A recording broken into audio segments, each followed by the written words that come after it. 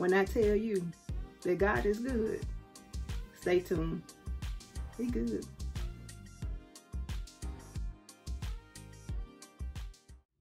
Hey everybody, welcome back to Life of Robert's Wife. I'm Je'Tua Amos. I know it's been a long time. Um, I just want you to know that, hey, I do not sit around and make videos all day. Um, I am not one of those YouTubers. So if you've been looking for that type of channel, no. Um, it's whenever I feel like the Lord has led me to say something, then I will get on here. So let me get started with the testimony. On September 26th, I received a phone call. When I received the phone call, it was from um, another disclaimer before I get even deeper. I did ask for permission to use the um, events that happened in this video and um, to use the name of the person in the testimony. And I was given permission. So get back to the story. So on September 26th, I received a phone call. I missed the phone call because I was busy, you know, um, with school and everything. And so when I looked at it, it was one of my ex-line sisters, Stephanie. And I was like, oh, Stephanie call me. Let me see what she wants. So I'm like, hey girl, what's going on? And she was like, hey, uh, she's like, I, um, I got something I want to tell you. And I was like, okay. And she said, you know, I was talking to you and so-and-so about Zeta, how y'all denounced whatnot. Y'all wasn't really saying too much um, at the time. And she said, I'm calling because I want to denounce. Look at God. And let me just clarify what she was saying.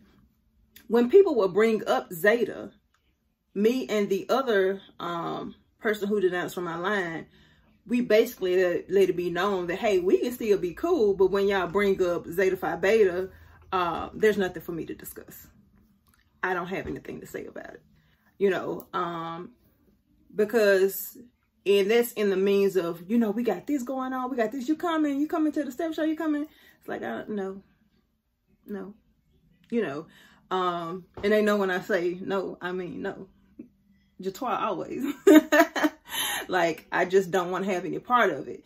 Um, but that doesn't mean I don't want to talk to them. That doesn't mean that I don't want to hear from them or about their families. It's just with that, you know, you can get kind of caught up and your flesh can rile up because you be like, girl, remember that time? You know, and it'll start taking you down a road that could easily um just lead. Remember, you know that. Just just say one more time or just do this one time with with us. You know, that's just and it's like, no, y'all, I can't. I don't I don't want to have nothing to do with it. Um so that's what I mean. It's like, no, my no means no. So when she when she said that she was asking about it, I told her I don't remember, you know, you saying too much about it, um, asking about it. I said, but um I said, so what made you want to denounce? So she was talking about a whole it was a series of events that happened in her life that told her basically, I need to get rid of this. I need to stop she said like one day her car, it wasn't broken into or anything. And she knows she had some Zeta stuff back there and all of a sudden it was gone. And she has a truck and she has a tag on the front of the truck. I mean, there's nutted and bolted in that had Zeta. And then she said one day she was driving down the highway and when she went to park, it was gone. Like she said, there's no way that it could have flown off because it has been on there forever. Like nothing was, it's not like that she was driving through a storm, bumpy roads or anything. It, it just left. And so I asked her what she saved and she said she was. And she told me about how she used to go to church when we were in college, which I didn't know because when we were in school, I never did go back home with her like on the weekends. Like I never did the weekend trips. There were some other line sisters that did. Um, and so, you know, when all three of us were on the phone, the other one that denounced, um, we, she was like, yeah, I remember that. I remember that. So, you know, I was like, oh, I, I never went with you. So, um, she said, yeah, I used to go home and I used to go to church every weekend.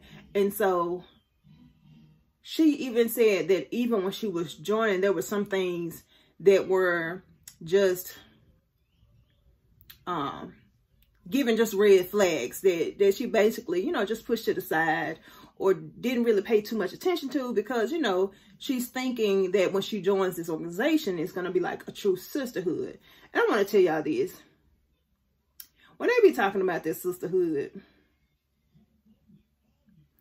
um, there are some people that will be on the line that will be closer than others, but when you cross over, that doesn't erase cattiness among women.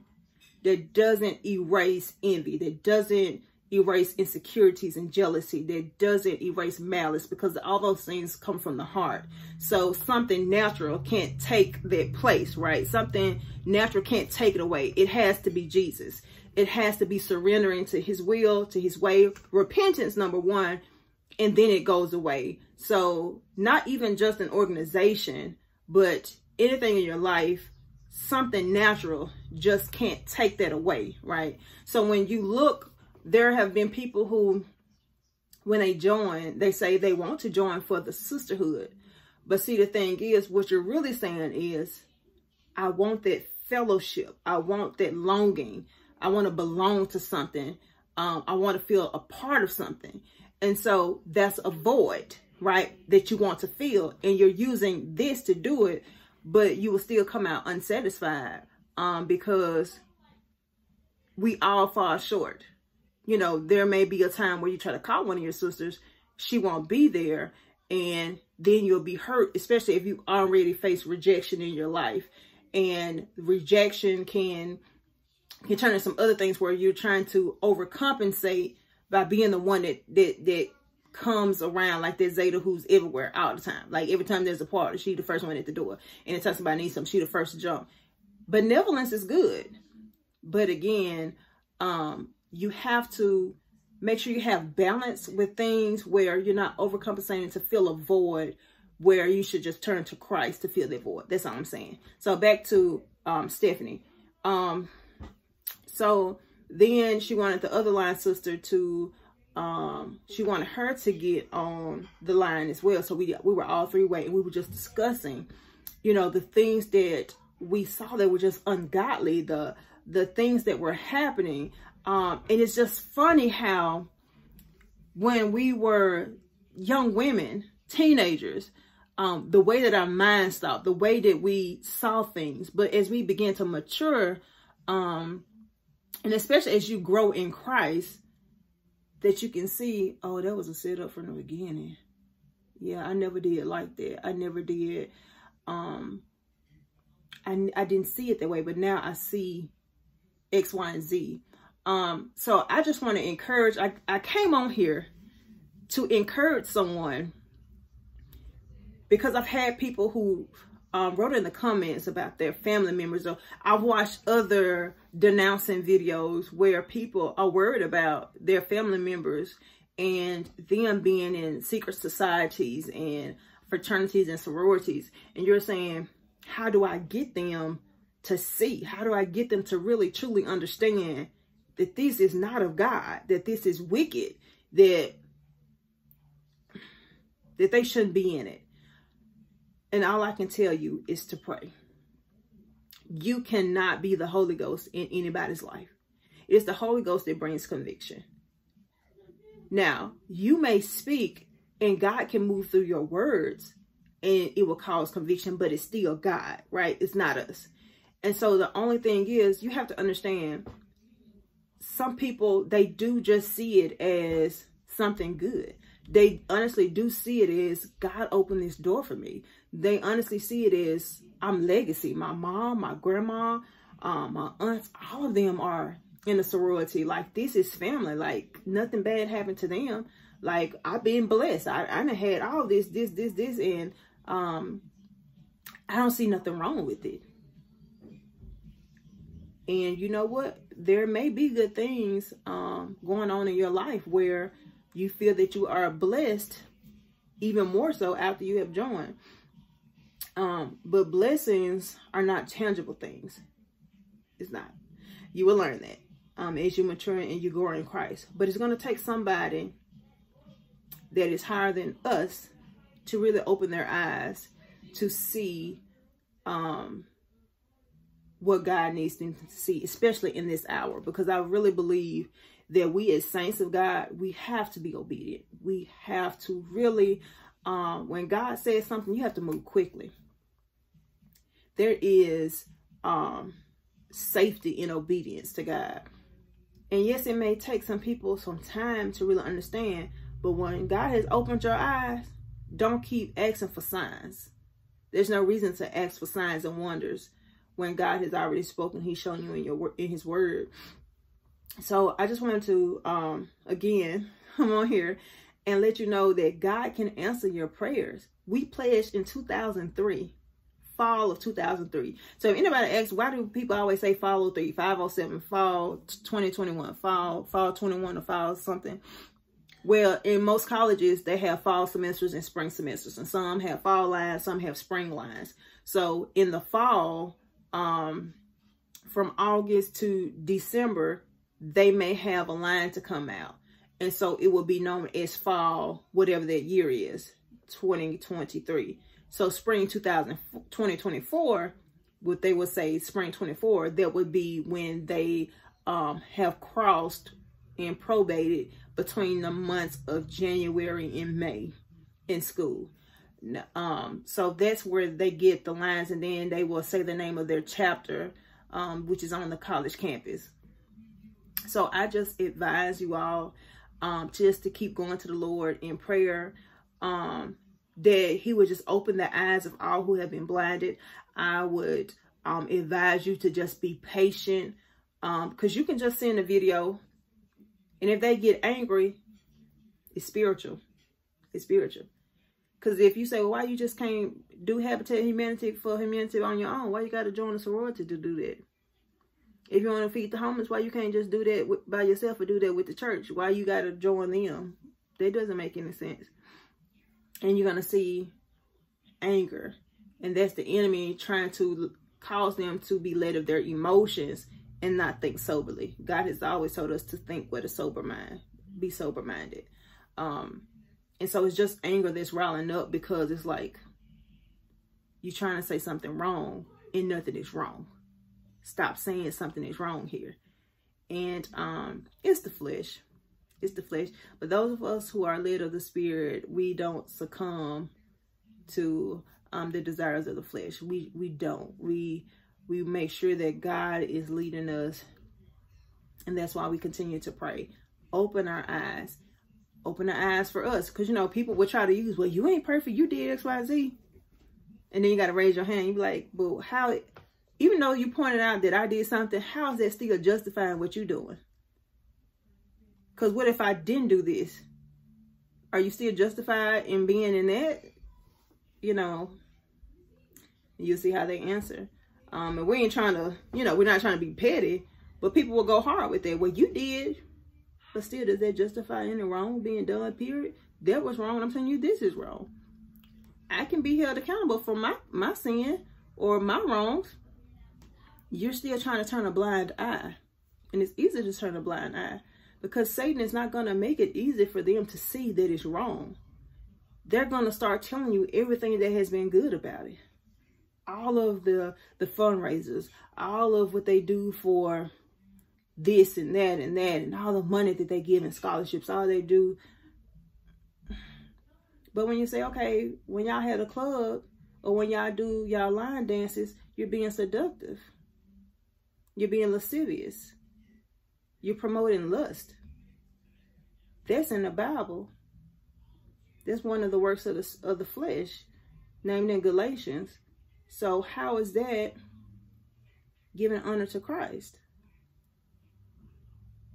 You know, and ask with a sincere heart. Don't come to nobody funny. That ain't how we do stuff. We don't do we don't do that.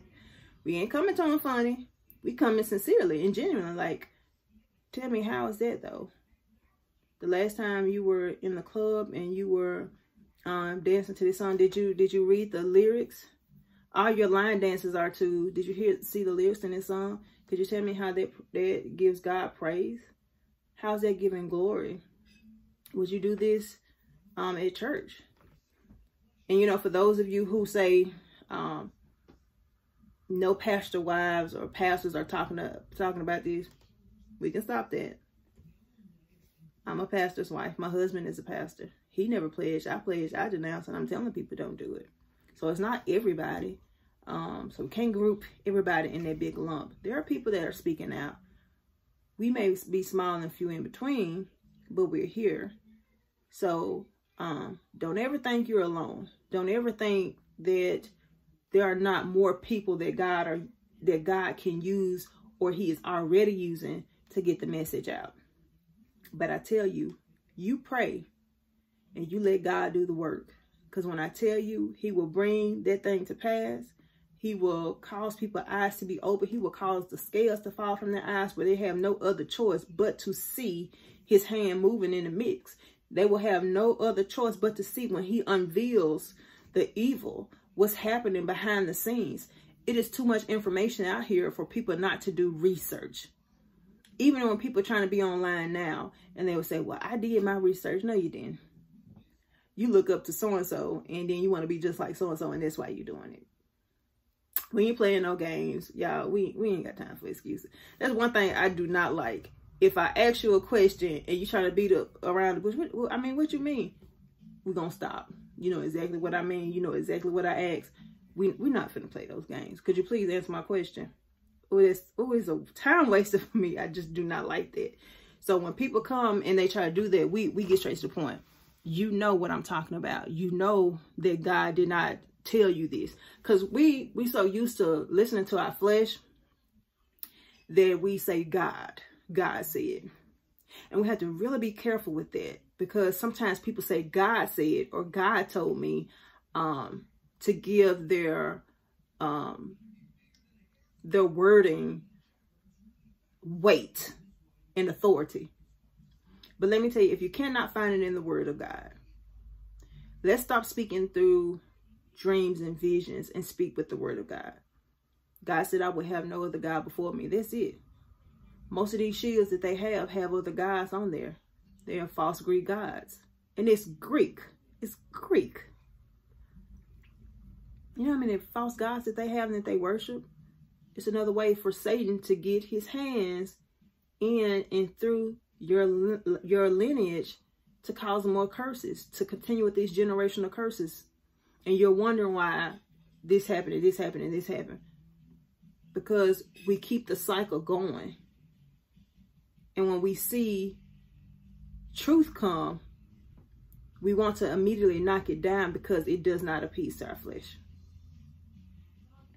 But anywho, I'm not trying to be on here long, but I just want to tell you that she did denounce and um, she wrote her letter and she um, sent her letter off immediately when I when I told her I said you sent a letter you tell them don't put my name in the Zeta book um, in the directory. I don't want it in the directory. I don't want any in, to have anything else to do with it.